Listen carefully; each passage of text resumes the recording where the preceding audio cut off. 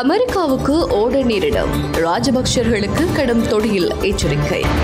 முன்னெச்சரிக்கையுடன் இருங்கள் வளிமண்டலவியல் திணைக்களம் வெளியிட்ட தகவல். பல்கலைக்கழக மாணவர்கள் தொடர்பில் வெளியான தகவல். இலங்கையில் மேலும் எழுநூற்று நாற்பத்தி ஐந்து பேருக்கு கொரோனா தொற்று பாதிப்பு. நாளைய தினமே அரசியலிலிருந்து வெளியேற தயார் மைத்திர் தரப்பு அதிரடி அறிவிப்பு. எதிர்வரும் நாட்களில் பாடசாலைகளை நடத்துவது குறித்து சுகாதார அமைச்சர் வெளியிட்ட தகவல்.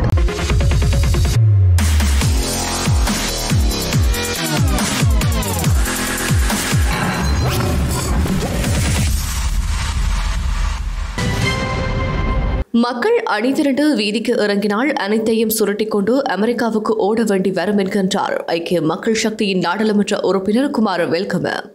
இரண்டாயிரத்தி இருபத்தி இரண்டாம் ஆண்டுக்கான வரவு செலவு திட்டம் மீதான நேற்றைய விவாதத்தில் கருத்து தெரிவிக்கும் போதே அவர் இவ்வாறு கூறியுள்ளார். இதன்போது மேலும் கருத்து வெளியிட்ட அவர் நாடாளுமன்றத்தில் எம்பிக்களது எண்ணிக்கை முக்கியமல்ல.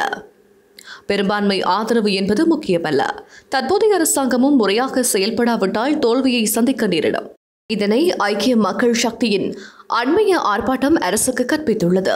மக்கள் எதிர்ப்பு எங்கிருந்து கிளம்புவது என்பதை எங்களால் சரியாக கூற முடியாது. அரசிடம் நூற்று ஐம்பது நூற்று முப்பது நூற்று நாற்பது என பெரும்பான்மை இருக்கலாம். அதனை பார்க்க மக்கள் எதிர்ப்பு பலமானது. அவர்கள் அணி திரண்டால் அனைத்தையும் சுருட்டிக்கொண்டு அமெரிக்காவுக்கு செல்ல நேரிடும் என கடும் துணியில் எச்சரித்துள்ளார். இலங்கையின் பல பகுதிகளில் இன்றும் மழை பெய்யும் என எதிர்பார்க்கப்படுவதாக வளிமண்டலவியல் திணைக்களம் தெரிவித்துள்ளது. இன்றைய காலநிலை குறித்து திணைக்களம் வெளியிட்டுள்ள தகவலின்படி மேல் சப்ரகம்புவ மத்திய மற்றும் வடமேல் மாகாணங்களிலும் காலி மற்றும் மாத்தறை மாவட்டங்களிலும் மழை பெய்யும் என எதிர்பார்க்கப்படுகின்றது. ஊவா மற்றும் கிழக்கு மாகாணங்களிலும் பொலனறுவை மற்றும் முல்லைத்தீவு மாவட்டங்களிலும் சில இடங்களில் மாலையில் அல்லது இரவில் மழையோ அல்லது இடியுடன் கூடிய மழையோ பெய்யக்கூடிய சாத்தியம் காணப்படுகின்றது. இடியுடன் கூடிய மழை பெய்யும் வேளைகளில் அப்பிரதேசங்களில் தற்காலிகமாக பலத்த காற்றும் வீசக்கூடும். மின்னல் தாக்கங்களினால் ஏற்படக்கூடிய பாதிப்புகளை குறைத்துக் கொள்ள தேவையான முன்னெச்சரிக்கை நடவடிக்கைகளை மேற்கொள்ளுமாறு பொதுமக்கள் அறிவுறுத்தப்படுகிறார்கள் என கூறப்பட்டுள்ளது. இரண்டாயிரத்தி இருபது கல்வியாண்டுக்கான வெட்டுப்புள்ளிகளுக்கு அமைவாக பல்கலைக்கழகங்களுக்கு தகுதி பெற்ற மாணவர்களை பதிவு செய்யும் நடவடிக்கைகள் அடுத்த மாதம் முதல் வாரத்தில் ஆரம்பிக்கப்படும் என பல்கலைக்கழக மானியங்கள் ஆணைக்குழு தெரிவித்துள்ளது. பல்கலைக்கழகங்களுக்கான வெட்டுப்புள்ளிகளை வெளியிடும் நடவடிக்கைகள் நிறைவடைந்துள்ளதாக பல்கலைக்கழக மானியங்கள் ஆணைக்குழுவின் தலைவர் பேராசிரியர் சம்பத் அமர்துங்க தெரிவித்தார். இதற்கமைய ஒவ்வொரு மாணவரும் தெரிவாகியுள்ள பல்கலைக்கழகம் மற்றும் பாடநெறிகள் தொடர்பில் அறிந்துள்ளதாக அவர் கூறினார். இதனையடுத்து அவர்களை பல்கலைக்கழக மானியங்கள் ஆணைக்குழுவில் பதிவு செய்யும் நடவடிக்கையை முன்னெடுக்க வேண்டியுள்ளதாக பேராசிரியர் சம்பத் அமர்துங்க குறிப்பிட்டுள்ளார். இதேவேளை பல்வேறு பீடங்களையும் டிசம்பர் மாதம் மற்றும் ஜனவரி மாதத்தின் முதற் பகுதியில் ஆரம்பிக்க எதிர்பார்த்துள்ளதாக அவர் மேலும் தெரிவித்தார். இம்முறை பல்கலைக்கழகத்திற்கு நாற்பத்தி ஓராயிரத்துக்கும் மேற்பட்ட மாணவர்கள் தெரிவு செய்யப்பட்டுள்ளமை குறிப்பிடத்தக்கது. இலங்கையில் மேலும் எழுநூற்று நாற்பத்தி ஐந்து பேருக்கு கொரோனா தொற்று உறுதிப்படுத்தப்பட்டுள்ளதாக ராணுவ தளபதி ஜெனரல் சவேந்திர சில்வா தெரிவித்துள்ளார். மேலும் தொற்றுக்குள்ளானவர்கள் அனைவரும் புதுவருட கொரோனா கொத்தடியுடன் தொடர்புடையவர்கள் என அவர் மேலும் தெரிவித்துள்ளார். இலங்கையில் இதுவரை கொரோனா தொற்றுக்குள்ளானவர்களின் எண்ணிக்கை ஐந்து லட்சத்து ஐம்பத்து ஐந்தாயிரத்து இருநூற்று நான்காக அதிகரித்துள்ளது. இதேவேளை நாட்டில் கொரோனா தொற்றாளர் பாதிக்கப்பட்ட உயிரிழந்தவர்களின் மொத்த எண்ணிக்கை பதினான்காயிரத்து எண்பத்து ஆறாக அதிகரித்துள்ளது.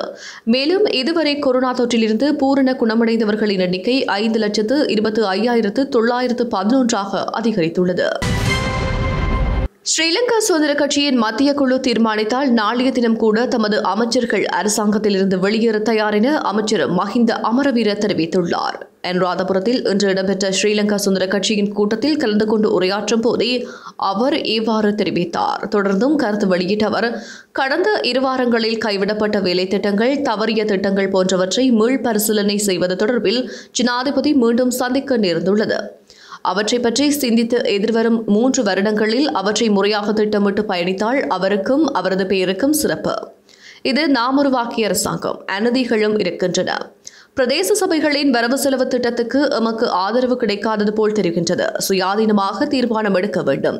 இந்த கட்சி அதற்கு எதிராக ஒழுக்காற்று நடவடிக்கை எடுக்கப் போவதில்லை.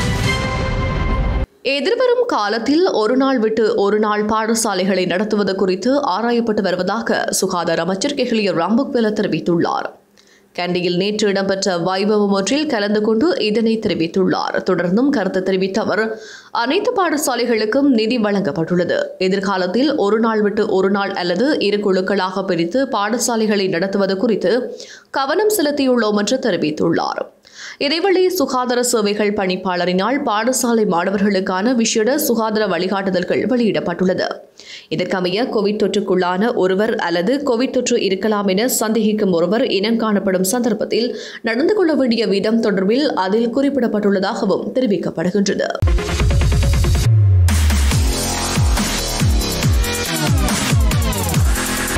அமெரிக்காவுக்கு ஓட நேரிடும் ராஜபக்சர்களுக்கு கடும் தொடியில் எச்சரிக்கை. முன்னெச்சரிக்கையுடன் இருங்கள் வளிமண்டலவியல் திணைக்களம் வெளியிட்ட தகவல். பல்கலைக்கழக மாணவர்கள் தொடர்பில் வெளியான தகவல். இலங்கையில் மேலும் எழுநூற்று நாற்பத்தி ஐந்து பேருக்கு கொரோனா தொற்று பாதிப்பு.